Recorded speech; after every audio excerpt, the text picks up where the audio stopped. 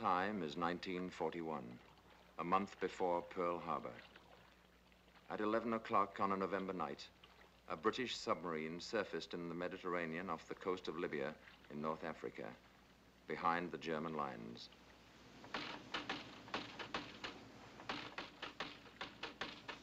You sure the light carries that far? It should. There they are.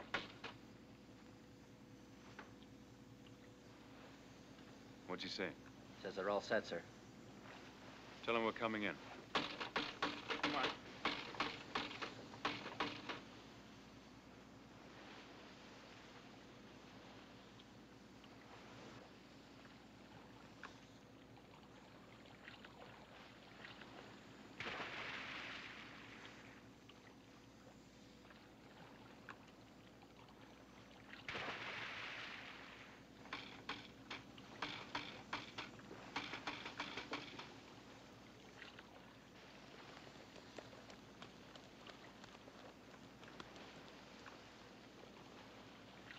These were British commandos, and the purpose of this carefully plotted raid was the death of one man.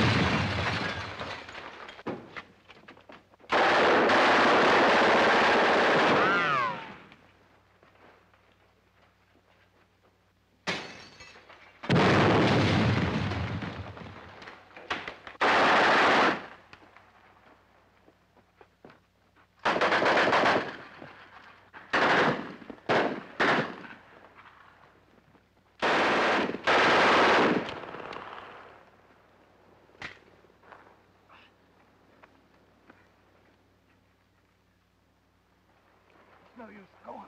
Get out of my arms. No use, I tell you. Get out of here.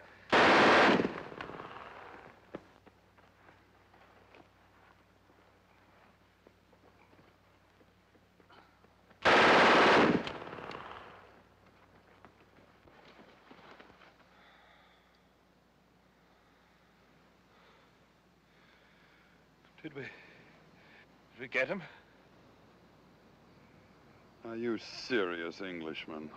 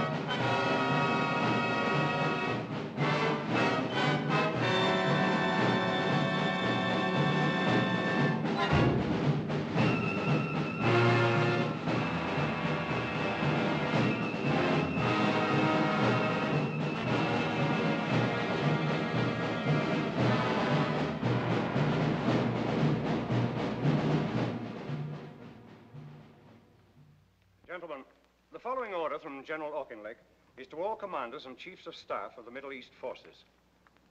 There exists a real danger that our friend Rommel is becoming a kind of magician or bogeyman to our troops, who are talking far too much about him. He is by no means a superman, although he is undoubtedly very energetic and able. Even if he were a superman, it would still be highly undesirable that our men should credit him with supernatural powers. I wish you to dispel by all possible means the idea that Rommel represents something more than an ordinary German general. Please ensure that this order is put into immediate effect and impress upon all commanders that from a psychological point of view, it is a matter of the highest importance. Signed, C.J. Auchinleck, General, Commander-in-Chief, MEF. This is the North African desert in June of 1942. And these are British soldiers taken prisoner the night before by units of the German Afrika Korps.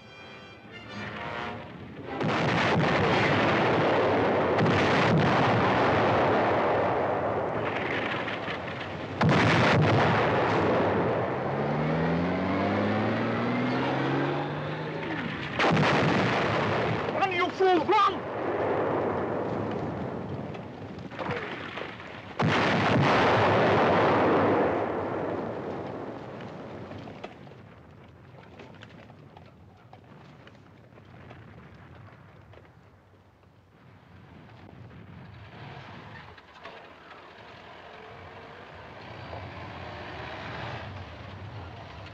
You, on, get out of there.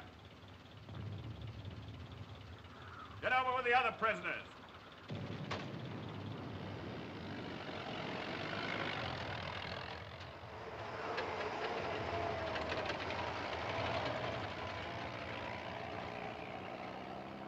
Who is the senior officer here? I am, I suppose. Come with me.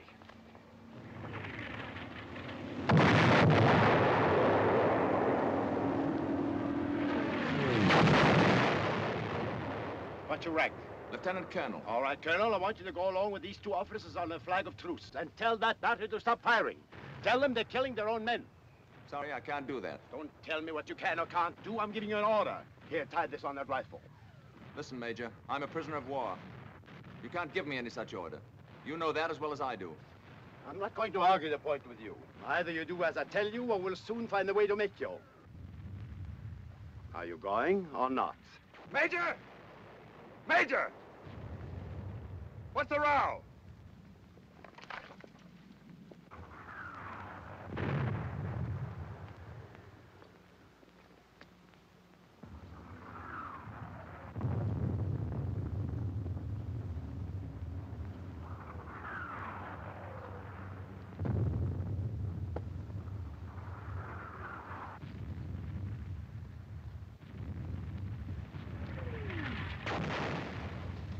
Field Marshal said you're right.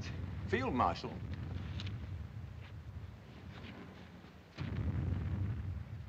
So this then was Rommel. Erwin Johannes Eugen Rommel, Commander-in-Chief of the enemy army and the most celebrated German soldier since World War I. Already a legend in the desert, he was a fox who had chased his hunters back and forth across North Africa about as often as they had chased him. And his tricks and turns had made even the Tommies chuckle, which is scarcely the proper reflex to the enemy in time of war. In spite of which, he was still, of course, my enemy. The enemy not only of my country and the army in which I served, but of all life as I knew it. Not only of democracy as free men had fashioned it, but of civilization itself. My name is Desmond Young. At the time of my capture, I was a lieutenant colonel in the Indian Army. This was my first and only sight of the cool, hard, professional soldier whose scrupulous regard for the rules of warfare had been exercised, in this instance, so fortunately for myself. Two years and four months later, while the British and Americans were still fighting their way across Europe, Erwin Rommel was dead. He was dead, the Nazis reported, of wounds gallantly received on the field of honor. But the Nazis were great liars, of course, and many people wondered. For already there were mysterious rumors floating across the battle lines. So, when the war was over and my military life behind me, I gave myself a mission. I set out to discover what actually had happened to him. What was the truth about his death? And on what field of honor had he died? In a modest home in the tiny village of Herrlingen bei Ulm in Württemberg, Germany, I talked long and often with Rommel's son and widow and examined his letters, reports, and other papers. In Germany, I talked to soldiers who had served with him, over him, and under him. In England, with men who had fought against him, from field marshals to desert rats. And in both countries, of course, I went to the official records. Based on these facts, what now follows is the true story of Erwin Rommel. The beginning of the end for this single-minded soldier came at 9.30 on the evening of October the 23rd, 1942, when at El Alamein, six miles of British guns... I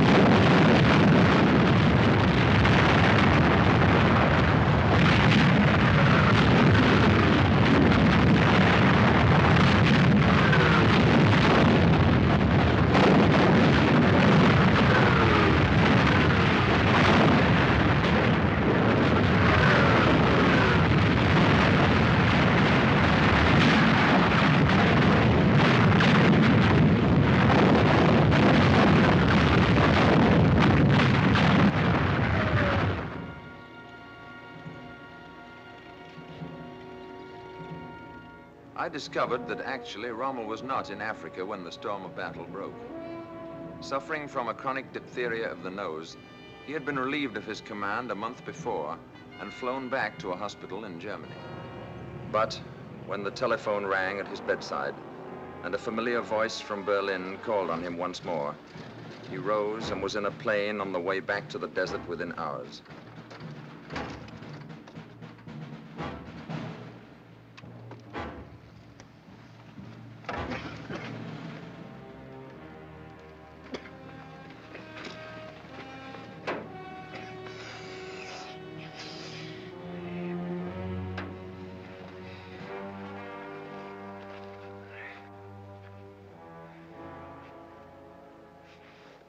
Wagner.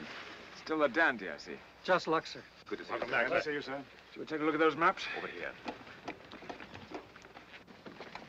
Have you been Bayerlein? Oh, very well, I suppose. Did you see Frau Rommel? Yes, she came and stayed a week at Semmering, she and Manfred. Well, I hope. How does it look today? Oh, they simply got too much for us. Too much of everything. If they keep this up much longer, I've no idea how we're going to get out of it. Not with the amount of petrol we've got, anyway. But we've got petrol, Some, but not enough. You mean it's still on the way? Neither on the way nor any prospect of it. Who told you that? I've talked to Rome three times in the past two days. There's no petrol on the way, nor any committed to us, as of 10 o'clock last night. Schultz. Oh, Aldinger.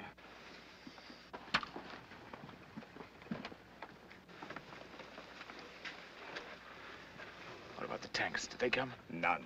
None since I left. No, none since August. What about the guns, the naval Nebelwerfers? Nothing, I tell you. And no petrol at all? Not a pint.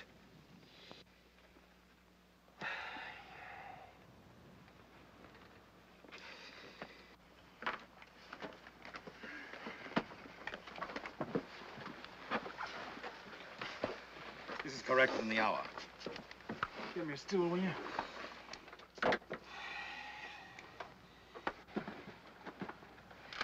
Here's where it's worst. 15th's in a bad way, barely hanging together. They drove everything What's this? The Trent Division. They came in here. Yes, I see now. How far's this armor? No further. They're doing pretty well. Where are my maps?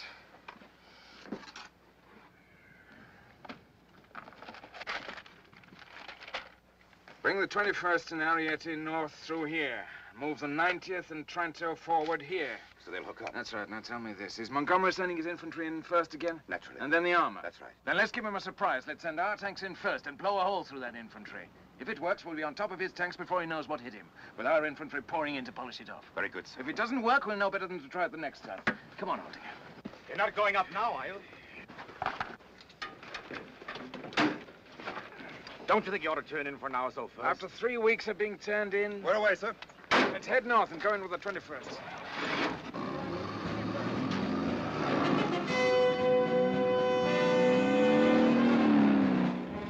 But there was now another fox in the desert, an even craftier one, perhaps. And if the battle boiled into confusion during the next few days, it was a confusion that was clearly more and more in Montgomery's favor.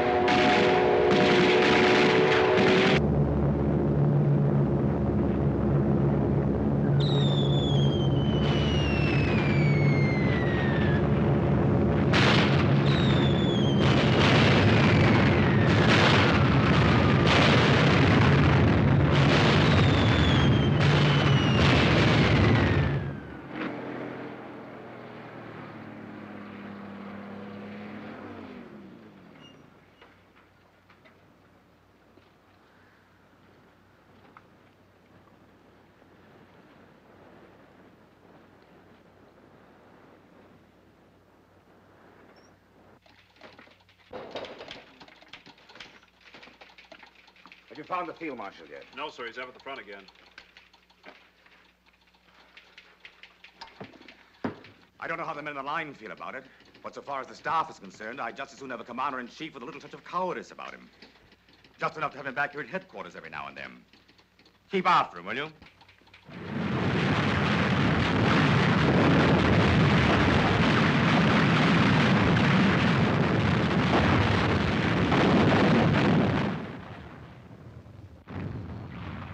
By the tenth day of the battle, not even Rommel could have any doubt as to its outcome. There's a limit to this sort of thing. You, you can't just go on indefinitely until the last man's dead. It's all very gallant and all that, but it's also pretty idiotic. Von Thoma wants to pull back to Daba. What about Mueller? No answers yet, sir. Where are you from, son? Goslar, sir. Really? I was stationed in Goslar once with a mountain battalion.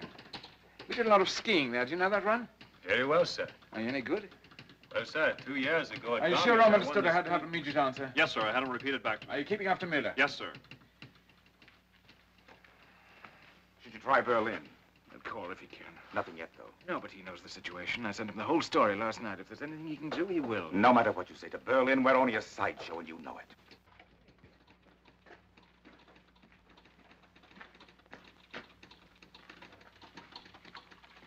Well, what? Miller's in a bad way. How bad? Very, I'm afraid.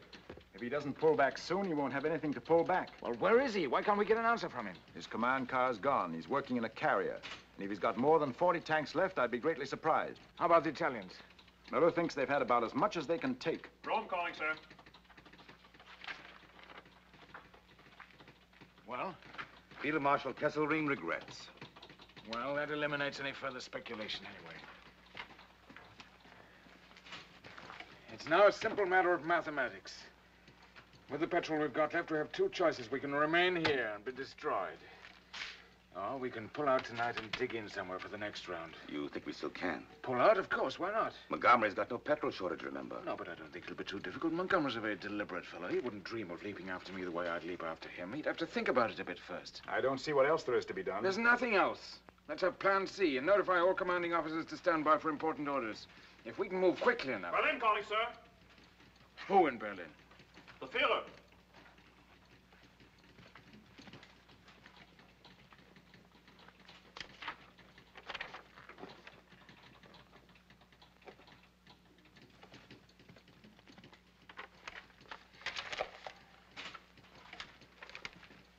Signed Adolf Hitler. The situation requires that the El Alamein position be held to the last man. There is to be no retreat, not so much as one millimeter. It must be victory or death. I can't believe it. We still got Berlin? Yes, sir. Ask him to repeat that message. Yes, sir. I know, but it's not him, I tell you. It's those, it's those hoodlums again. Those thieves and crooks and murderers. Those, those toy soldiers. Those dummy generals with their books and charts and maps and pointers. How can he listen to such nonentities? How can he even stand the smell of such filth? Why doesn't he slaughter the lot of them and use his own intelligence? I have your repeat, sir. Well, go ahead, read it. The situation requires that the El Alamein position be held to the last man. There's to be no retreat, not so much as one millimeter. It must be victory or death, signed Adolf Hitler. It's incredible. You're not going to pay attention to such nonsense, are you? It's an order, Bayerlein, a military order from General Headquarters. A clear, straight, stupid, criminal military order from General Headquarters. And what are you going to do? Double the insanity by obeying it? We've got the best soldiers in the German army here.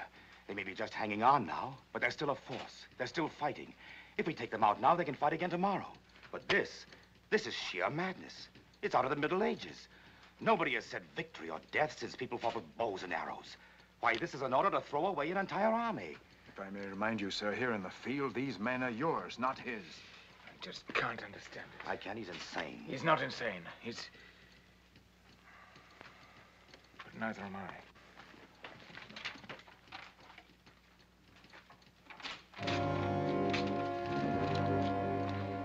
Pull him out, Bayerlein. I'll argue with him about it later. The end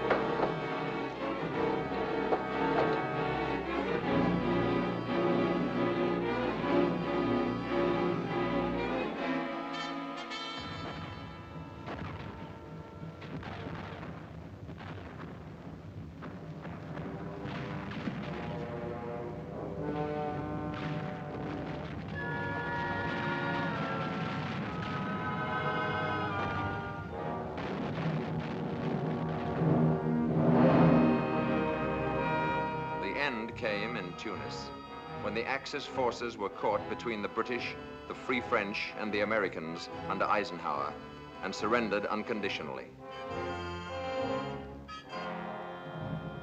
But the Afrika Korps went into captivity without its leader. For, a month before the end, Rommel had again fallen ill and been invalided back to the hospital in Germany.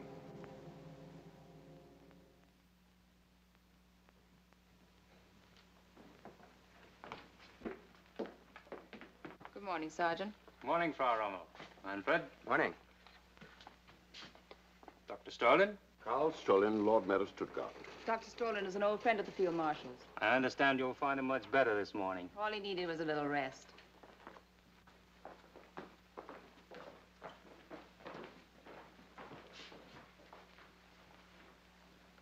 Frau Rommel?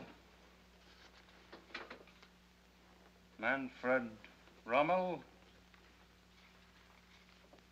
And Dr. Karl Strolin. From Stuttgart? Not only from, but Lord Mayor of. And don't tell me he's on the list.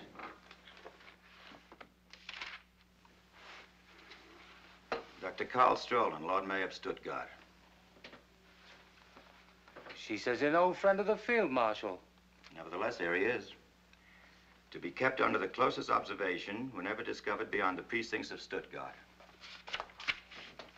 Not that it could really be described as an argument. It's impossible to have an argument with him in the sense that you and I could have an argument. He raves, he screams, he goes into such hysterics that it's like trying to make sense with a panic-stricken woman. He called him a coward. Did he really use that word to you? Not once, but several times.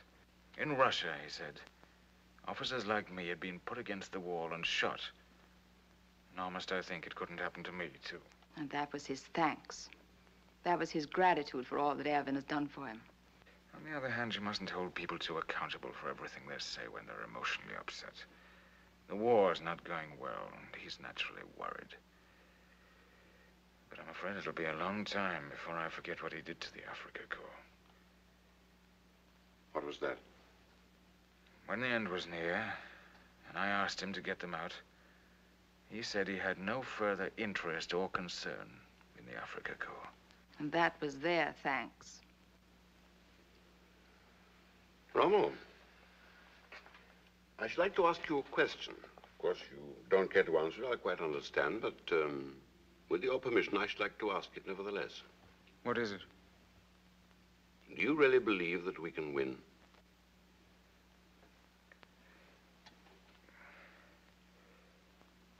I'll tell you what he believes. Yes? He doesn't think so. He told you that himself? He did. And he understands what that'll mean this time. Apparently. Then why do we go on? Because we have no choice. Because no country we're fighting, England, America, or Russia, will make peace with him. He admitted that.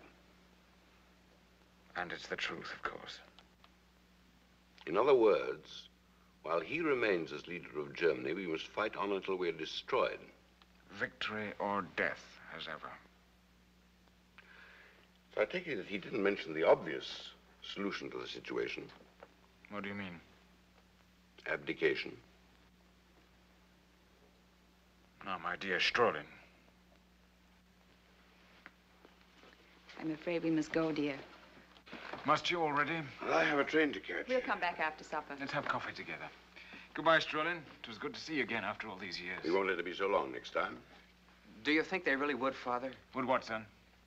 Shoot you? No, no, of course not. That's just his wild way of talking. You mustn't pay any attention to that. Or shoot his greatest general. You shouldn't have said that in front of him. Come along and stop talking nonsense. Until this evening, dear? Come early, will you? He's a good-looking boy, isn't he? A very nice boy, too. But were you entirely truthful with him? About what? When you told him that he would never put you up against a wall? But of course. Has the possibility ever occurred to you that he might turn on you? But why should he? He's turned on others. He'll never turn on me. What about some of those fellows round him that don't like you? Himmler, Bormann, and that crowd. Don't they ever influence him? Very often, indeed. You don't think it's possible they might influence him against you someday? It's possible, yes, but I don't see that it's very likely. But in the remote possibility that they did, have you ever considered what might become of Lucy and Manfred? I've never thought about it. But what on earth are you getting at, anyway?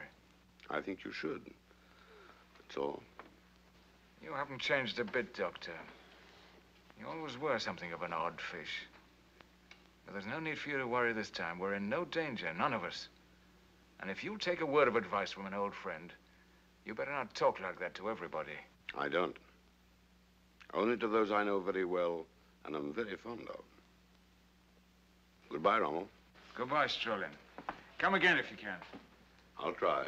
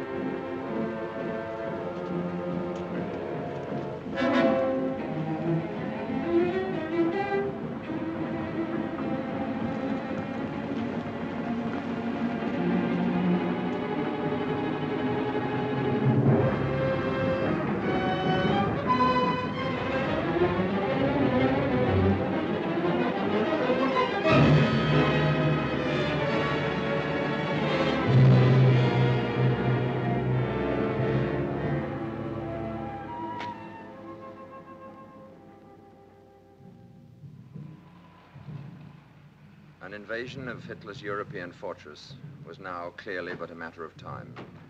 And in November of 1943, Rommel made a tour of inspection of the Atlantic defenses, preparatory to taking command of the Nazi forces that were gathering to resist the assault.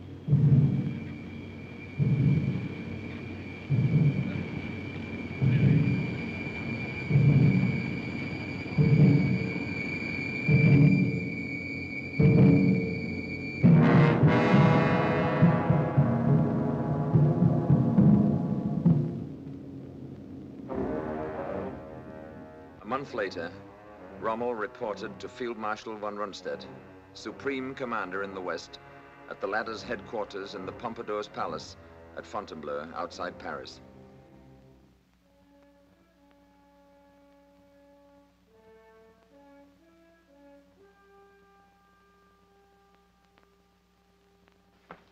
Field Marshal von Rundstedt, gentlemen.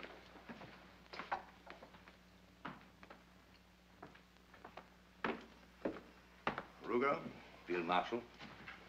Gentlemen.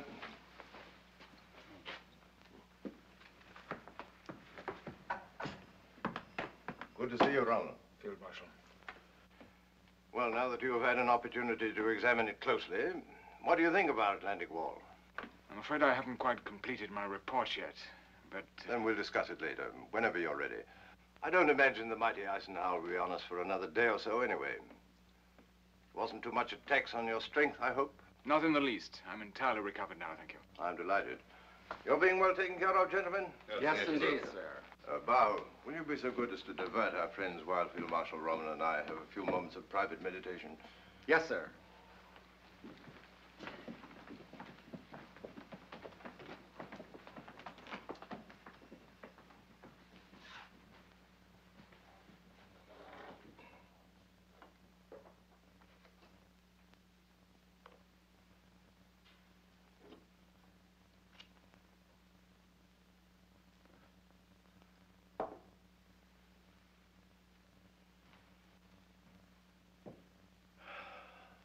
Appalling, wasn't it? You can't even see why it's called a wall. The big ports like Havre and Ostend and Cherbourg are protected well enough, but the enemy's not coming in on the Queen Mary. Nothing at all has been done about the beaches. Why, I saw 50 places where an army of children could come ashore. The trouble is labor. We have the plans for fortifications the devil himself couldn't breach. Solid steel and concrete from Denmark to Spain. But I'm afraid our French friends aren't being as cooperative as they might be. Even when driven to the job, they move like snails. Either we break it up while they're still waiting ashore, or we're in trouble. Is that the way you'd meet it? Stop them on the beaches. Crowd the water with mines and traps and tricks and hit them while they're busy trying to keep themselves from drowning. Here. Down here. And here. I don't agree with you. But the difference of opinion will probably remain academic. As it happens, neither you nor I will determine the tactics in this operation. Not above the regimental level, anyway. You mean Berlin? I mean the Bohemian corporal himself is assuming sole and total command of this operation. You and I will function simply as instruments of his astrological inspirations. And in case you're afflicted with an understandable skepticism, this is official. But that's an utterly impossible situation. Then you should by all means explain that to him. You've made no protest yourself? After you've interfered a dozen times or so with a man's rather enthusiastic determination to cut his own throat, there comes a moment when you're inclined to stand back and view the whole matter with a certain detachment. You've no objection to my pointing this out to him, have you? On the contrary, I bestow my blessings on your courage and optimism.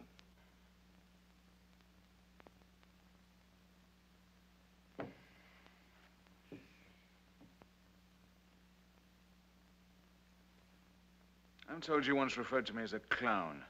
The clown of Hitler's circus. Oh, did I? If so, I think you should know I've been a great deal more explicit about you, many times. That's quite all right, Field Marshal. I find it almost impossible to keep my mind on anything harsh said about me. Did you say it? Whoever said it, you've given him ample reason to regret such a foolish remark. Thank you, Field Marshal. Not at all. Is there anything else? I don't believe so at the moment. One suggestion, perhaps, in view of our cordiality. If I were you, I wouldn't be altogether unguarded about what I had to say about this new strategic arrangement. I think you should know that from now on, you'll be under more or less constant observation here. From Berlin? Friends of the management, I believe. Have you any information as to why I should be singled out for such attention? Oh, but you're not. We all are. Apparently you didn't have it in Africa. But here on the continent, it's an honor that goes with staff rank. You too? My dear fellow, I'm the commander-in-chief.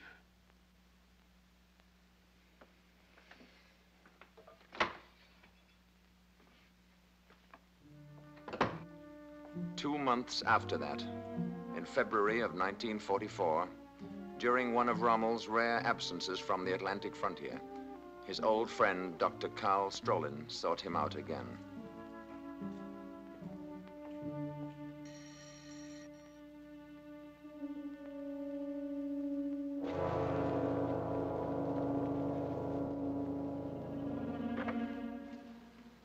Good afternoon, sir. Good afternoon.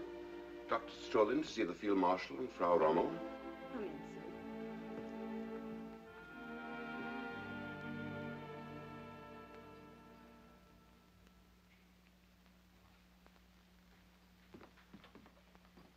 Eisenhower won't try it until spring, of course. But I doubt if I'll get home again before then. Are we ready for it? We will be, I hope.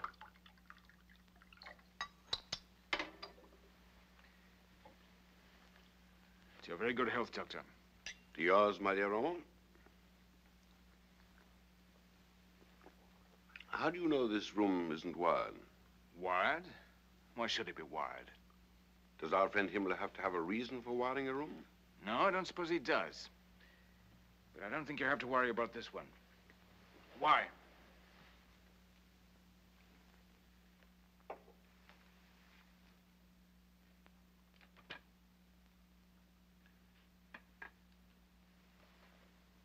Because I want to talk to you without being overheard. About what? About the Hitler situation. If this is politics, Strolin, I don't want to hear it. Had you rather see Germany destroyed? It's not a matter I want to discuss, I tell you. And I'm surprised at you. That's a that's a communist position. Oh? Is it? Defeat against him, all that sort of thing. Unite us. Would you call General Beck a communist?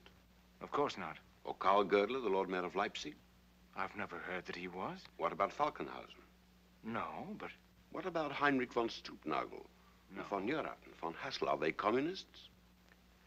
are you trying to tell me seriously that men like that are questioning his leadership? Not just questioning it. They intend to end it. You mean you've talked to those fellows yourself? To them and to many others, and not only soldiers either. Churchmen, labor leaders, lawyers, doctors. Members of the government, even. Not too many of them, but sound men. Every one of them. How long has this been going on? Since 38. And what exactly are you after? One, we want to get rid of Hitler and his gang. If we are to be defeated, then we prefer to be defeated as human beings, not as barbarians.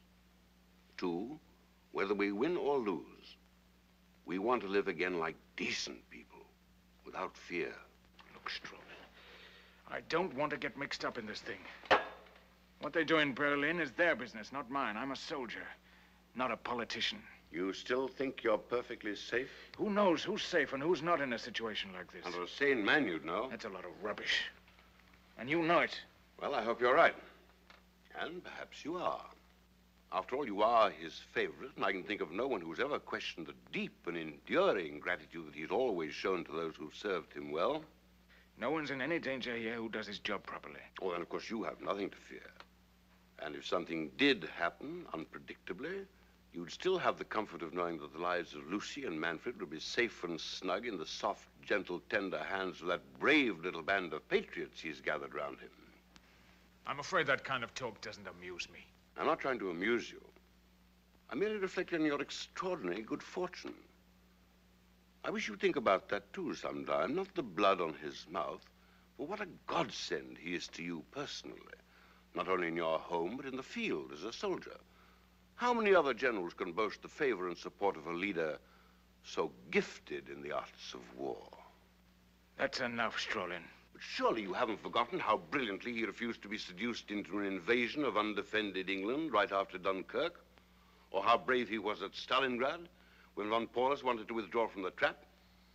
What other man on earth would have had the courage to send that brief, simple, thrilling command? Don't retreat so much as a millimeter, victory or death. Would Napoleon himself have That's dared? enough, I tell you. Afraid even to think about it. Stop talking to me as if I were a child and you were schoolmaster. Don't you think I know what you mean? But what of it? Who asked me for my opinion? And suppose I told them what I thought, that what they're doing beyond every other consideration is stupid to the point of imbecility. Who do you think would listen to me? Have you ever tried? Of course. I'm being told to mind my own business.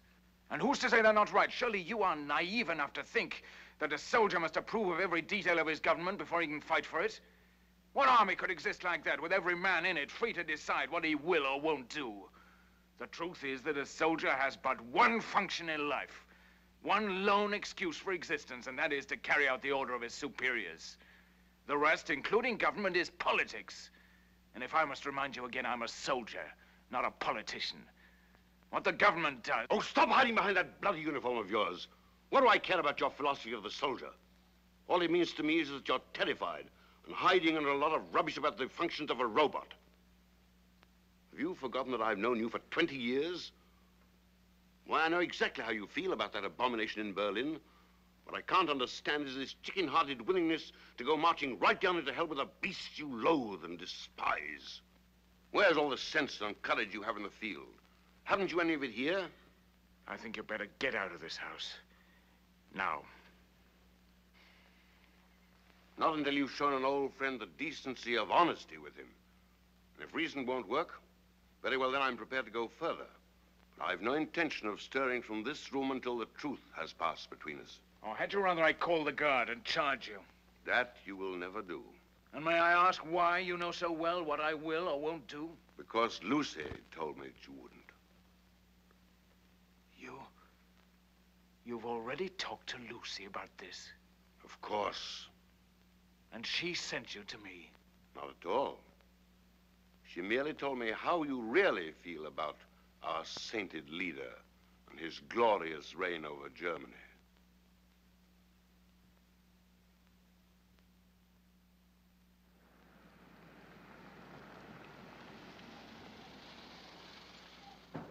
Father!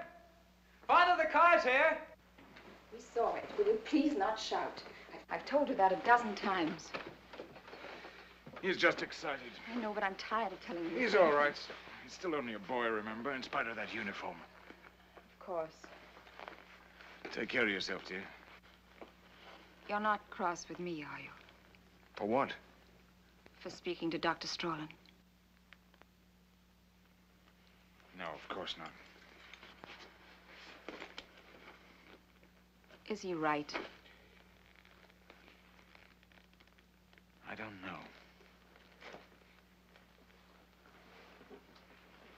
I can't make up my mind. But that's a dreadful thing he proposes. A great, tremendous, dreadful thing. I don't know that I can go along that far with him. Then you shouldn't, if you don't think he's right. I didn't say he wasn't right, but even so, is that the only way to handle it? Treason. That's what it comes down to, no matter how right you think you are. You think it would be better to let things go along as they are? No, no, I don't, but there must be some better way of handling it. I mean, if I could see him alone again and explain this situation to him. Can you tell me how a man can fight a war under such conditions? Isn't it enough that we're facing an invasion without... No. Never mind now. You don't have to decide this minute. It'll come to you when it's time. What do you think, really? I can't tell you, dear. I don't know. But never mind now. When the time comes, something will tell you. You better go along now. You're late already. Write to me every day, will you? I will. This is just a little something for the journey. Thank you, darling. Goodbye, sweetheart. And don't worry about me. I'll try not to.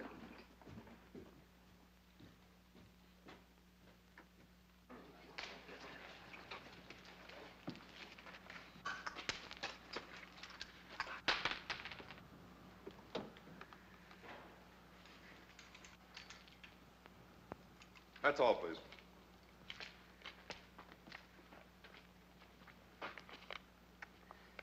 Goodbye, son. Take care of your mother. Be a good soldier. Make me proud of you. I'll try, Father. Are you going to bring us back Montgomery? The minute he steps ashore. Goodbye, darling. Goodbye, darling.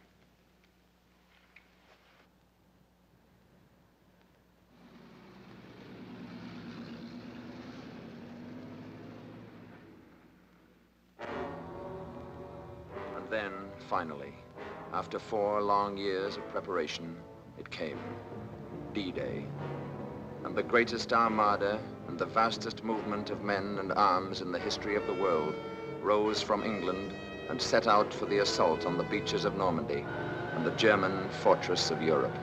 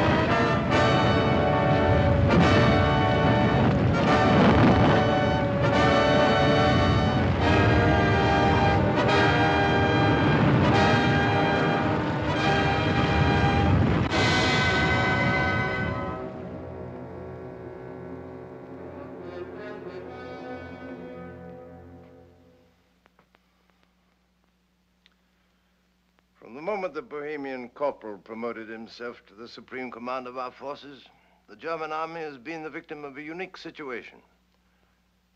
Not only too many of the enemy, but one too many Germans. You don't think he's ready to give us the 15th Army yet? I don't see how he can, under the circumstances. His astrologers have informed him that this is only a feint, that the real invasion is yet to come, north of Calais. The 15th Army is sitting on those cold beaches up there, waiting for an invasion that has already taken place, is an excellent example of war by horoscope. We've got to have those troops. If we're not allowed to maneuver, we've got to be able to support these positions. We've got to see him again about it.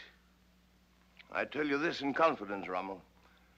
I don't think anything we can do would be of the slightest use. The pattern for defeat has already been set. Hold fast. Don't give up a millimeter of ground. Victory or death. Wars simply can't be won by men whose knowledge of tactics is based on copybook maxims. They may stir schoolchildren, but they don't stop troops. But give me a free hand for a few months and I'd make them pay for it. I'd make them pay such a price in blood they'd wish they'd never heard of Germany. I might not be able to stop them all, but they'd know they'd fought an army, not a series of stationary targets. But you'll never let us, of course. You know how firm corporals are.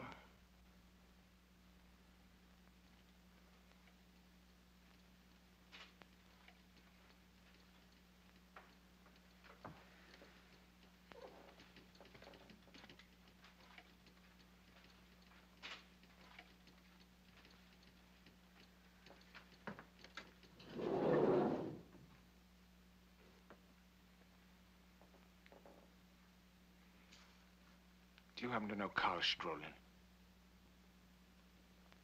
Strolin? The Lord Mayor of Stuttgart.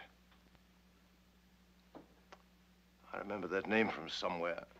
Or Dr. Goerdeler of Leipzig? You too? Every day that passes, every minute of the day, convinces me more and more that theirs is the only possible solution. Your words, you must understand, mystify me. They propose to arrest him, take over the government, and move immediately to make peace with Eisenhower. I shall, of course, deny that this conversation ever took place. But that's a particularly childish idea. Eisenhower's not going to make a separate peace. And why should he, with things going so well as they are? That part of your plan is doomed, obviously, from the start. But you don't disagree with the basic proposal. I'm sorry, but I don't believe I heard the question. In any case, if they came to you for counsel or advice, would you receive them? Oh, no. No. No, I'm afraid not, Rommel. It's too late. Much too late. Even if they moved immediately? You misunderstand. Not too late for that. Too late for me. I'm 70 now. Too old to revolt. Too old to challenge authority. However evil.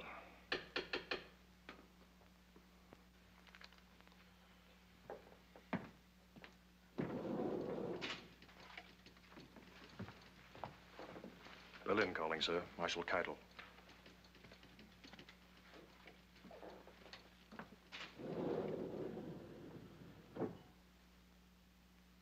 Keitel? Von Rundstedt. Yeah. Is this true about Cherbourg? I'm afraid so.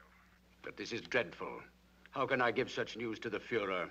You've reported misfortune to him before. Why should this one present such a problem to you? But that's just it. We've had nothing but bad news for weeks. Isn't there any good news I can give him at the same time? Have you checked on the Russian front this morning? We're not discussing the Russian front. We're discussing yours. This whole situation in the West becomes worse with every report. I, I, I'm actually embarrassed to have to give him another disappointment like this. Can't you think of anything we can do about it? Certainly. Give us those 90 divisions of the 15th Army who are sitting around Calais playing cards. You know that's impossible. The Fuhrer has already explained the necessity for leaving them there. Very well, then. Give us permission to pull out of Normandy and set up a line that we can defend properly. Your orders are to fight where you are, and that's exactly what he expects you to do. Is it possible you have no better suggestion than that? One very much better, in fact. Make peace, you idiot.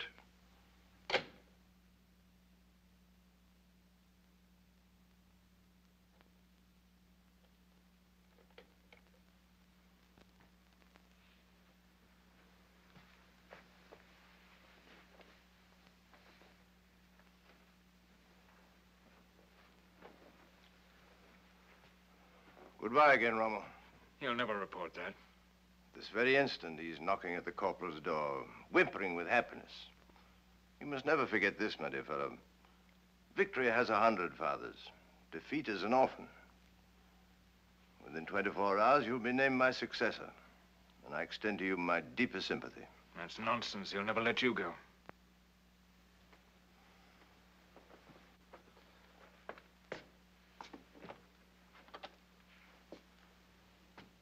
Not too old, I might add, to wish your friends the best of luck in that extremely interesting project.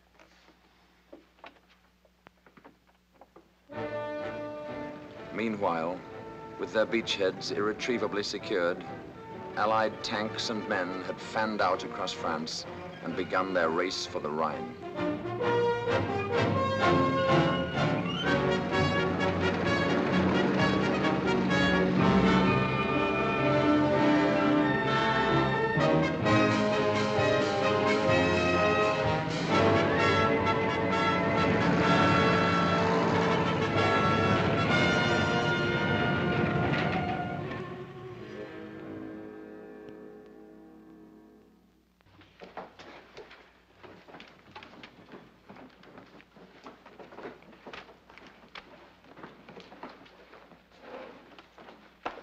These where you can get to them quickly. Also those files there. Keep the key yourself and use your own judgment about the rest of it. Very good, sir. Field Marshal.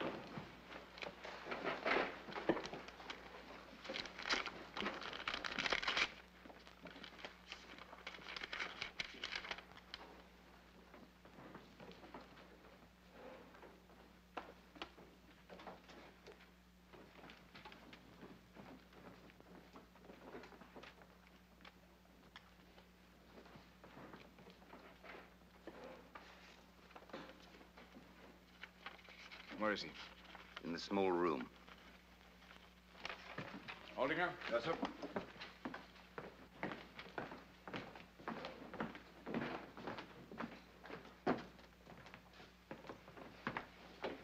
Colonel, I'll try to be as brief as hmm. possible, Field Marshal. perhaps you better keep an eye on the corridor. Yes, sir.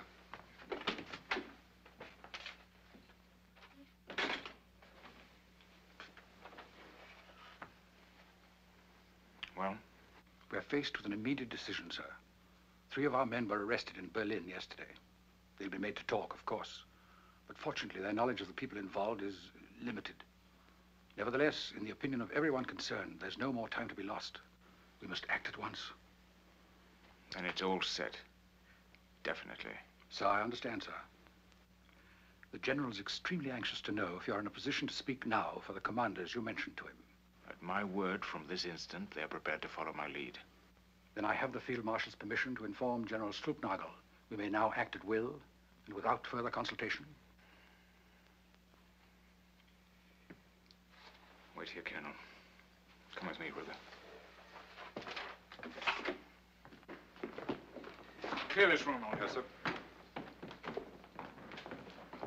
Outside. Never mind about that. Outside. Field Marshal Rommel speaking. Put me through to Field Marshal Keitel. I've got to be certain. Absolutely certain. We can't go through with this if there's even the remotest sign of sense there.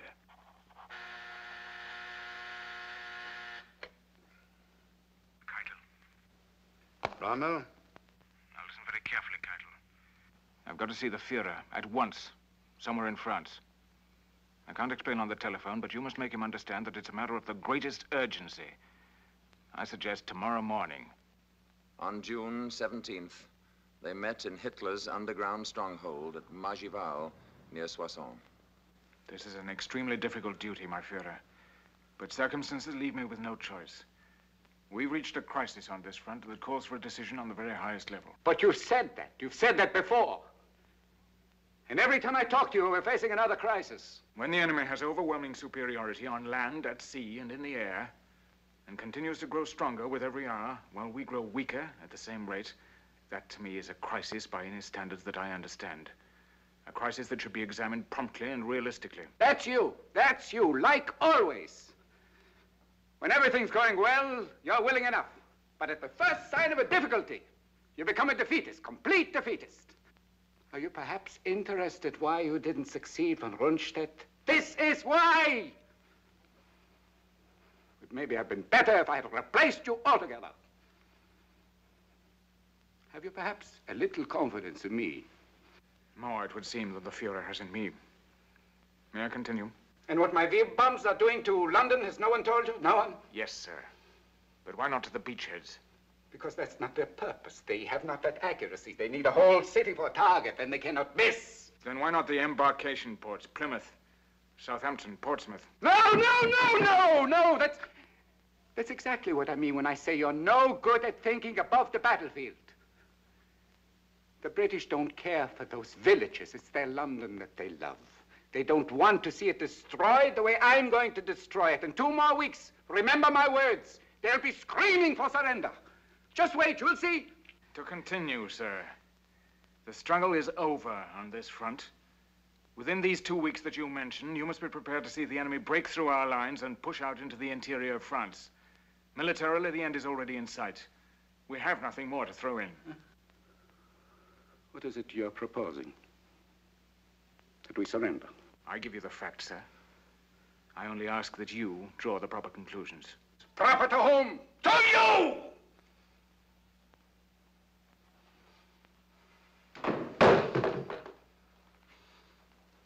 Suggest to you, Rommel, that you confine your genius to fighting and leave the conduct of the war to those who are responsible for it. My apologies, sir. Now, if the Fuhrer will honor me with his advice. That V weapon, for your information, happens to be only the first in a whole series of weapons that will completely revolutionize all warfare. I have a second a hundred times as powerful and a third in mind. A thousand times more destructive than the second. But the crisis under discussion is now, sir. I have a dozen others, all of them capable of turning the whole course of the war. But what about now, sir? What are we to do tomorrow morning? Well, you've been deciding that all is lost, we've been working, working miracles, determining the course of history for centuries to come. In the workshops, in the laboratories, we've been turning out machines of destruction such as the enemy has never dreamed of. I have one in mind. I have the weapon in mind.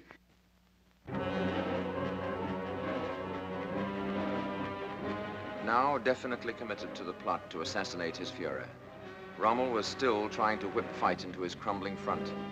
When on June the 17th, on a country road near a village with the ominous name of Montgomery, Aircraft.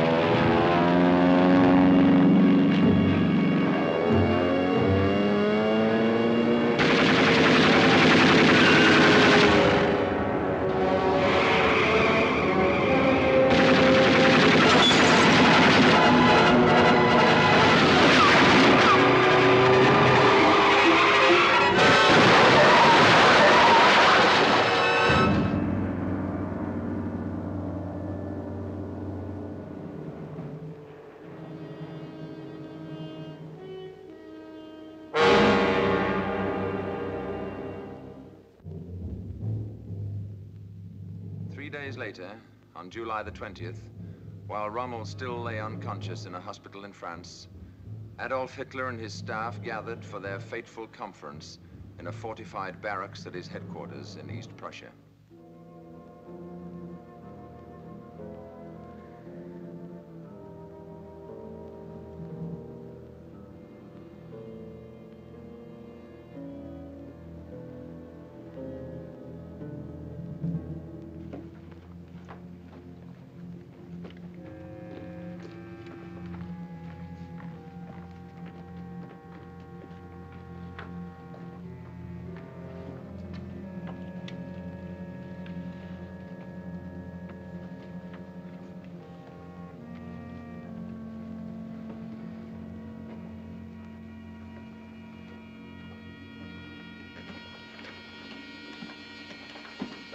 Gentlemen. He handles his panzers like a cavalry officer. Thank you, gentlemen.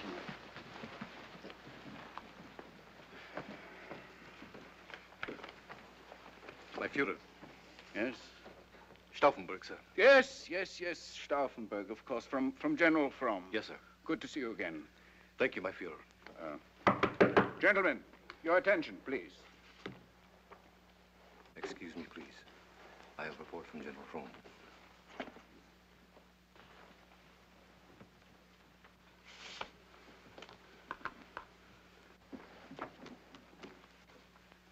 Where's Goering? On his way now, sir. Hmm? Well, when you're fat, you don't move so fast. huh?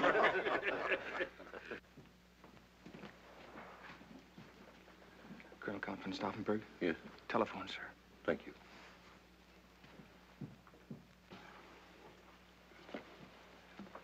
Excuse me.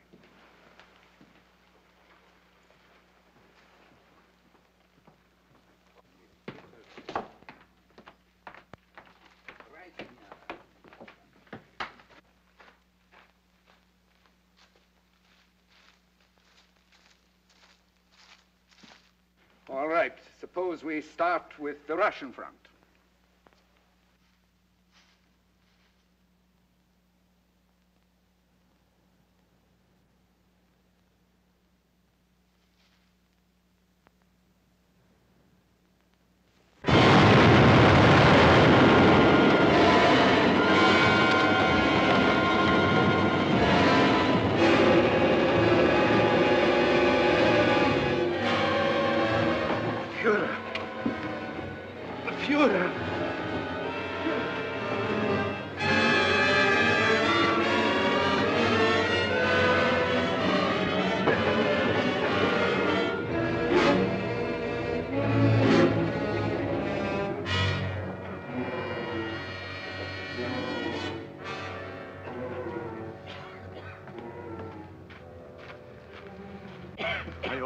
Führer? I'm all right. For that failure, 5,000 suspects paid with their lives during the few days that Hitler spent in hospital. As for Rommel, recuperating at Herrlingen from injuries that would have destroyed any but the toughest of men, all public mention of his name suddenly stopped, and a complete and official silence settled over the very subject of the nation's most celebrated soldier. For three months, he remained in this sinister isolation until the afternoon of October the 13th in 1944. Keitel? How are you, Rommel? Getting along, thank you. Well enough yet to come up to Berlin. I'm afraid not yet. In another week or two, perhaps. Why? I could send a special train for you. That's very good of you, but I really don't feel up to it yet. Is there some particular urgency about it? How soon do you think you'll be ready for another command? Another two weeks, I suppose. Three at the most. If we send someone there, would you be able to discuss the situation with him? Of course. Very well, I'll send Burgdorf. You know him, don't you? I've met him. Suppose I have him drive down tomorrow morning. Would that be convenient for you? Perfectly. He'll have full information and instructions. Will you give my best regards to Frau Rommel? I will. And thank you very much. Goodbye, then. Goodbye.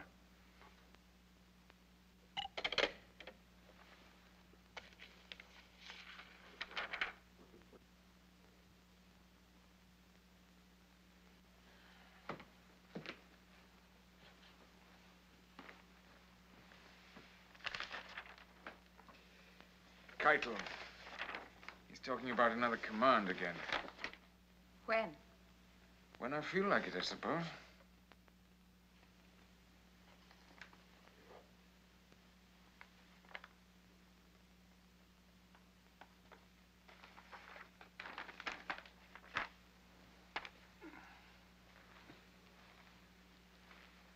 Uh, he sent his best regards to you.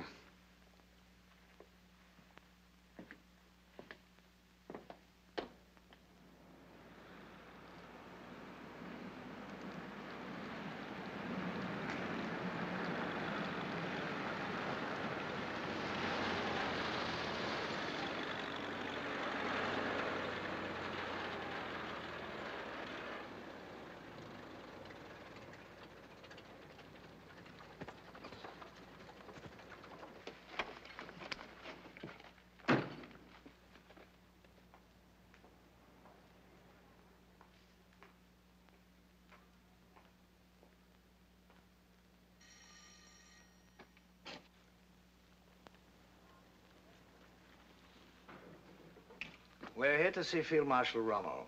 I'll tell him, sir. Would you tell him that... Come in, Burgdorf.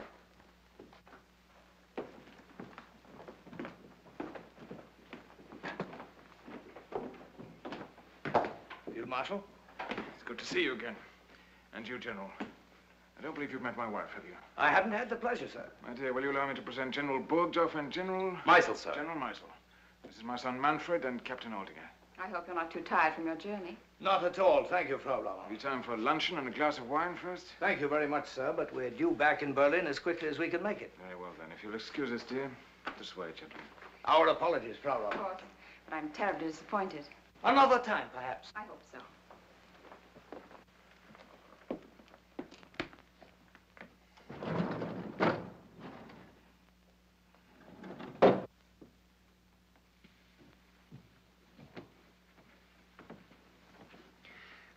Russian front, don't you?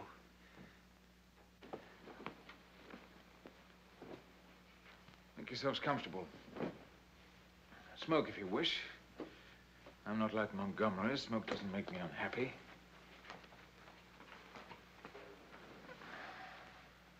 At your service, gentlemen. We come directly from the Fuhrer, Field Marshal. Yes? And what we have to say to you comes directly from his lips. Yes? Our instructions are to tell you first of his deep appreciation of your many heroic services to the state. Go on. And his regrets over your unfortunate accident. I was sure his silence since then meant only that there were more important matters on his mind. It's a pity that after such a record... If you'll forgive me, General, may we skip your reflections for the moment and get to the message you have for me? Of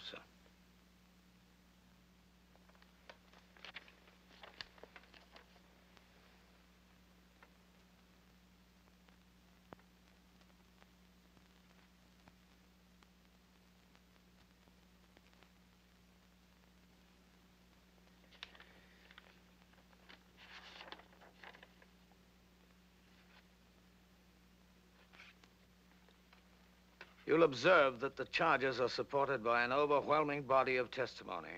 I can read, thank you.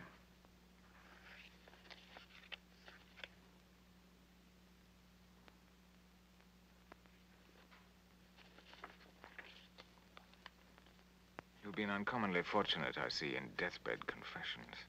It's all perfectly legal, I assure you, sir.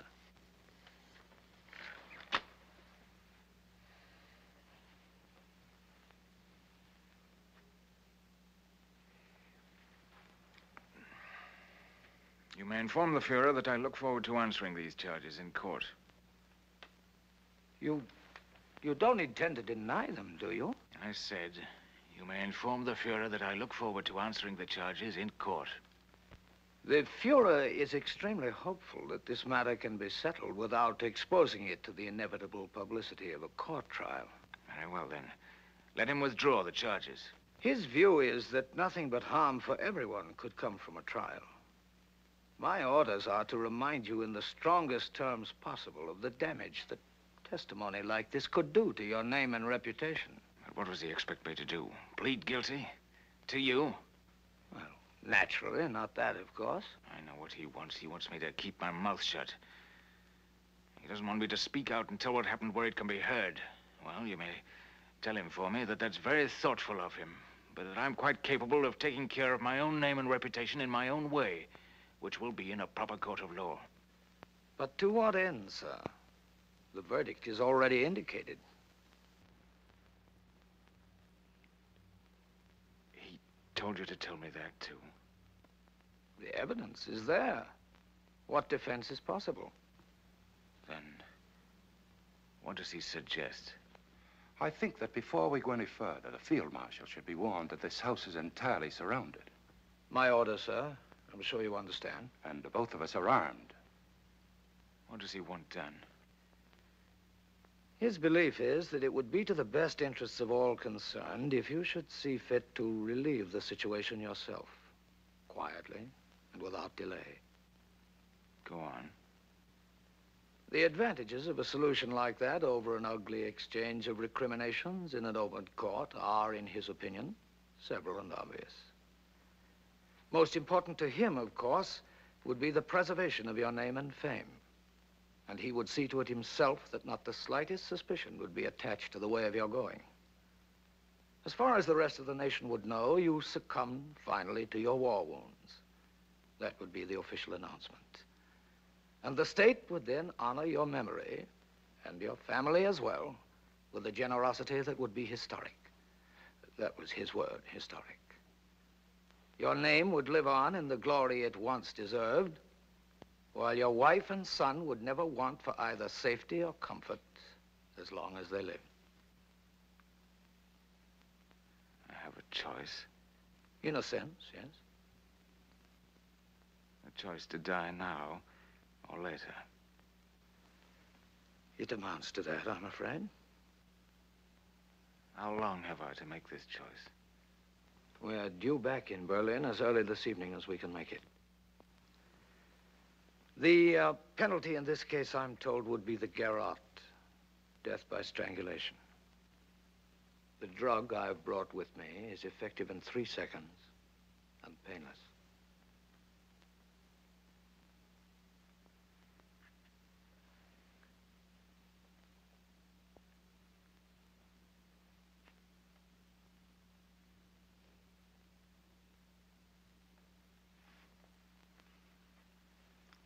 For me that in spite of the disadvantages you've been kind enough to point out, I'll take the trial. It may be, as you say, a futile defense, but I think it should be heard nevertheless. There might be some value in it for those who hear it. It might even move some to stop and think for a moment or two, as finally I did. Oh, unfortunately, too late. In any case, it's my life, and that's my choice. I confess my disappointment with your choice, sir. My heart, of course, bleeds for you. The unfortunate part of it is that if you insist on a trial, I have no authority to offer any guarantees for the safety and comfort of your son and widow.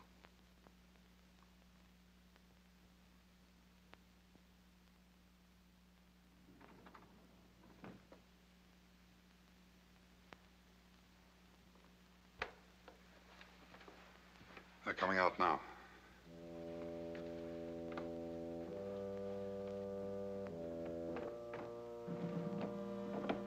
All over, sir? I believe so. We'll wait outside, sir. I won't be long. No, we hardly expected such a...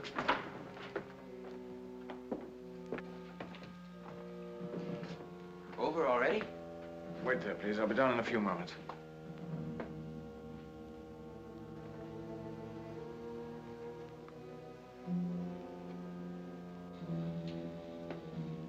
What is it, Erwin? I want you to be strong, darling. I want you to be very strong and very brave. Do you understand? I've got to go away now, and I won't be back. Do you want me to tell you any more?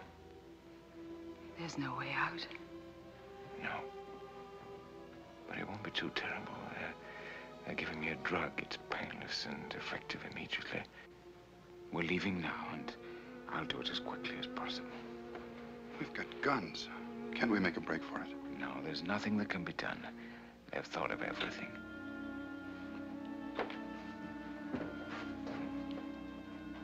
Well, at least we could get them.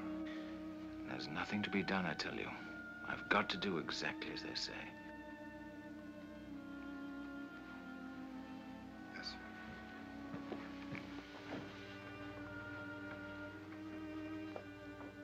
Are you going to be brave now? I don't know. You and Manfred will be all right. They've assured me of that. And nobody's to know about this but us. Are you sure there's no other way? No other, darling. Have you told Manfred yet? I'll tell him when I go down. No. Let me tell him. I can tell him so much better.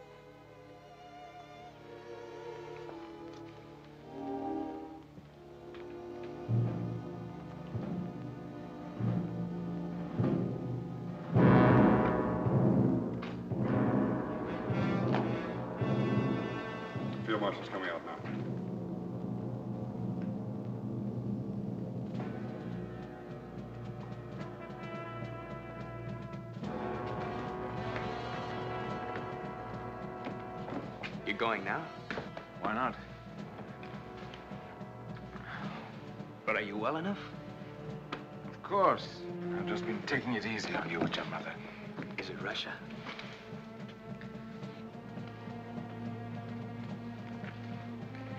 Goodbye, Aldinger. Old dear friend. Goodbye, sir. Take care of him. Yes, sir. Can't you tell me? Don't ask so many questions.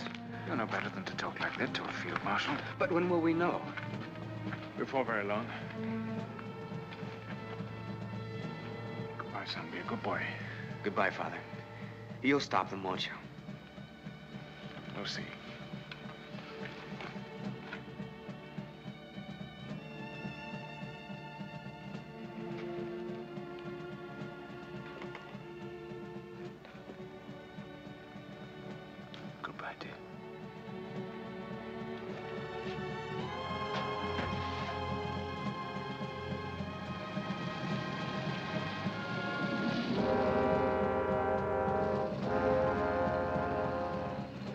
last short ride, what may Rommel's thoughts have been? Were they bitter that he had learned too slowly and struck too late? Or did they go back to the desert, where his military genius had first electrified the world? First at Mechili, then Tobruk, yes, and even El Alamein. Any case, his life and fate have best been summed up, ironically enough, in the words of Nazi Germany's sternest enemy, the Honorable Winston Churchill. His ardor and daring inflicted grievous disasters upon us, but he deserves the salute to which I made him in the House of Commons in January 1942.